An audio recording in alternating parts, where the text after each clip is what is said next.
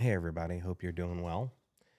Um, man, 2023 has been brutal.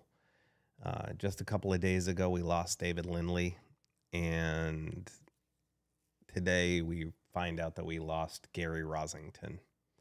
Um, he was 71 years old. Uh, he was the last surviving original member of the band Lynyrd Skynyrd. Uh, founded the band with Gary Rossington, Allen Collins, Bill Burns, and um, it, this one hit. This one hit real hard because I've been a Skynyrd fan ever since I can remember, and I always remember specifically loving Gary Rossington. I don't know what it was about him. I mean, his guitar playing was just soulful and beautiful. I mean, his solos on Tuesday's Gone and um, other songs. Um, they just, it, he meant a lot to me. And so um, we're to play some music for him today. I'm actually to do three videos um, for three different songs from three different time periods of uh, Gary's career. Um, the first, this song we're going to do is from the Rossington Collins Band, which was basically Lynyrd Skynyrd forming after the plane crash or reforming after the plane crash, but they didn't want to call it Lynyrd Skynyrd. So many of the surviving members of the band were in the band Rossington Collins, including Billy Powell and Allen Collins, and and and then um, Dale Krantz, who later became Dale Krantz Rossington. His band is basically how Gary met his wife, and um, this is probably their biggest hit uh, off of that album. Um, it's a song called "Don't Misunderstand Me," and if you haven't heard it, well, you're going to. So here we go with "Don't Misunderstand Me" by the Rossington Collins Band.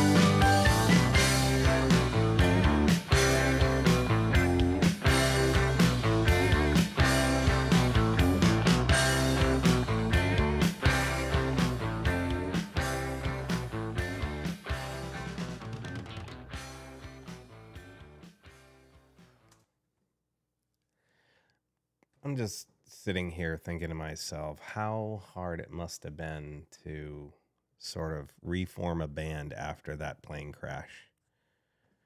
You know, when you lost the leader, you lost your newest member and his sister. You lost your road manager, the two pilots, of course. I think 20 people survived the plane crash, and several of them, of course, reformed to form um, Rossington Collins.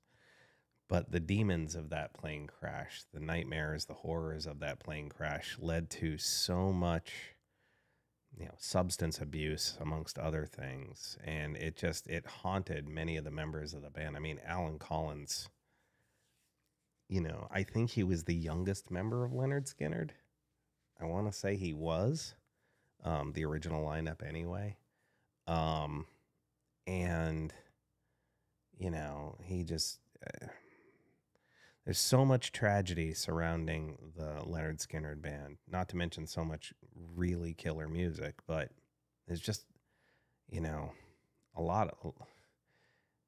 You listen to the music and it makes you happy, but if you really stop and think about it, it can make you really sad too.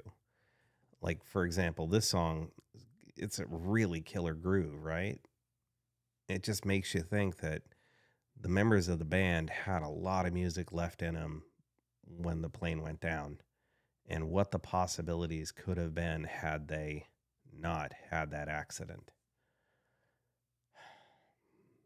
It's it's it's a, it's a hard one. Like I said, today's a hard day because of this. It's it's we've lost a lot of people this year. You know, Raquel Welch, Tom Sizemore, um, uh, um, David Lindley. Uh, honestly, it's too it's it's just too many to list. And of course, you know, at my age, I'm I'm, I'm 51, and at my age, it's just it's honestly it's making me feel more mortal because heroes and people I looked up to or or respected or admired are are they seem to be dropping like flies, to be honest with you. And I don't know. I mortality is fleeting and um anyway rest in peace gary um thank you for the music with that said uh, i appreciate y'all please feel free to leave a message in the comment section below and we can talk about it further um, i wish you all well um, hug somebody you're close to and let them know you care Okay. That's it. Have a good one. Take care.